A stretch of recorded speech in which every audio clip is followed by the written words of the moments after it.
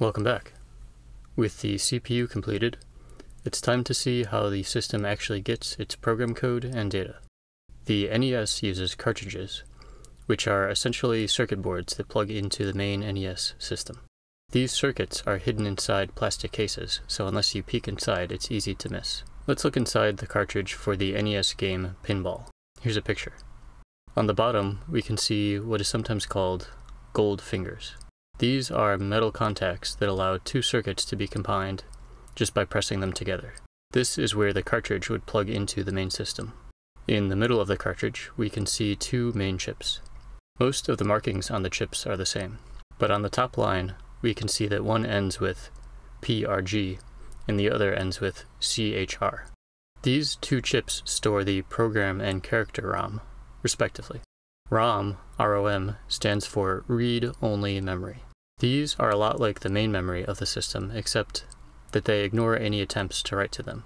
These chips are sort of written to, or programmed, only once during manufacturing. Just like main memory, values can be read by specifying an address, which will allow us to read a value from the chip at a particular position. Program ROM stores the machine code for the 6502 program. These are the same sort of bytes we saw when we looked at an assembly language, and the machine code that corresponds with it. Character ROM stores graphic data in the form of tiles. We'll see this in more detail when we look at the graphics chip.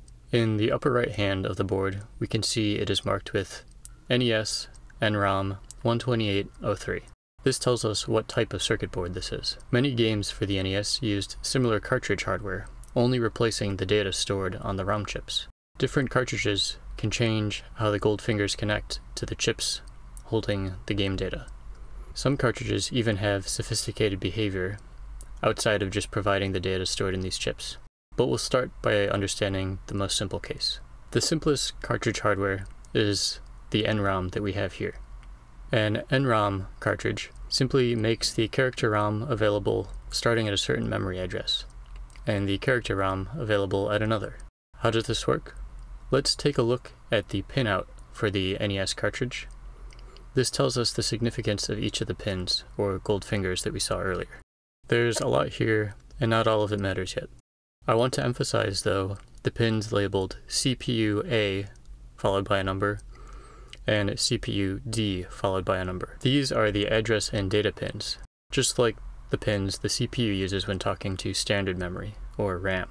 The address pins, 0 through 15, are the 16 pins that get set to the respective bits of an address. The 8 data pins, D0 through D7, are how the respective device can respond, or this is how the CPU specifies the value that it wants to write. In the era of the NES, memory was almost the same speed as the CPU. So rather than invent an extra protocol for devices to communicate, they basically all behaved as a special form of memory. Cartridges expose program ROM to the CPU, and the character ROM to the graphics chip, aka PPU. The PPU-A followed by number and PPU-D plus a number pins work just like the CPU pins. The difference though is that they are connected to the graphics chip instead of the CPU. How does the cartridge know when the CPU wants to talk to ROM? This brings us to what is known as the memory map. The memory map describes which addresses in sort of a complete view of system memory correspond to which devices. If multiple devices tried to respond when the CPU specified a particular address, it could result in either the CPU reading corrupt information or crashing the system. So the designers of the NES system created a memory map, which sort of divides up the entire range of memory into chunks that each device is responsible for. The assignment of devices to regions of memory is called mapping, and the resulting arrangement is called the memory map. Here is a snippet of the memory map for the NES. I will include a link to a more complete version of this in the video description. For now, I just want to highlight a few entries. The very first range from 0 to 07FF hex is about 2K of memory. This corresponds to the built-in system memory, or RAM. And towards the end of the memory map, from hex 4020 to hex FFFF, is about 49k and this is free for the cartridge to do whatever it wants. This first segment is just standard system memory. This memory map applies to all cartridges. Different games and cartridge hardware may choose to use that region differently. Let's see what NROM does. Just like before, I'll link a more complete version of this memory map, but I just want to look at two pieces for now. From address hex 8000 to hex BFFF, this corresponds to the first 16K of the program ROM.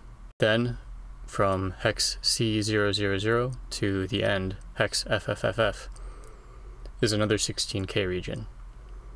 It will either be a repeat of the first 16K of ROM, in the case where the ROM is only 16K. In the case of a 32K ROM, this will be the second block of 16K. And we won't worry about how character ROM is mapped for now. And that's it for this very simple form of cartridge hardware. Now that we've seen what a simple cartridge does, we can start trying to emulate its hardware. But first, we'll need some data to emulate. Fortunately, the nestest homebrew ROM that we saw earlier for testing the CPU actually emulates an NROM cartridge. But in order to find the program ROM data within this cartridge file, we first need to parse the NES file format. We'll take a look at loading the cartridge file next time, and then we'll be ready to start taking a look at graphics. Hope you enjoyed the video. See you on the next one.